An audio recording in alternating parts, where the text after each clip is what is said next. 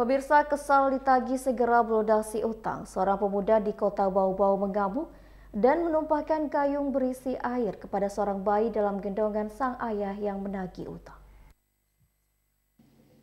Sudah mengutang, pemuda ini malah tega menganiaya bayi berusia tiga bulan dengan melemparkan gayung berisi air hingga pecah di kepala bayi tersebut. Peristiwa ini terjadi pada Senin siang saat orang tua bayi mendatangi rumah pelaku di Kelurahan Bukit Wulio Indah untuk menagih utang sebesar Rp500.000.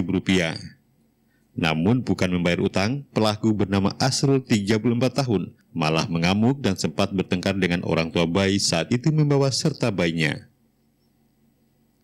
Tanpa belas kasihan, pelaku melempar gayung berisi air ke arah penagih utang saat itu menggendong bayinya. Gayung tersebut tepat mengenai kepala korban Bahkan gayung yang digunakan melempar pecah berkeping-keping. Akibatnya bayi tersebut mengalami pembengkakan pada bagian belakang kepalanya. Tak sampai di situ, pelaku juga mengancam orang tua bayi dengan senjata tajam. Kedua orang tua bayi langsung melapor ke Polsek Wulio. Usai mendapat laporan, polisi langsung menangkap pelaku di rumahnya Kelurahan Bukit Wulio Indah.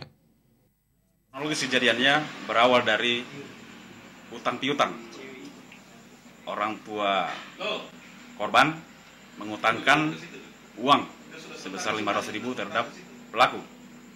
Dan pada saat ditagih, pelaku merasa tersinggung dan menganiaya korban dengan cara melemparkan gayung yang berisi air di kepala korban yang menyebabkan kepala korban ini bayi mengalami pembekakan.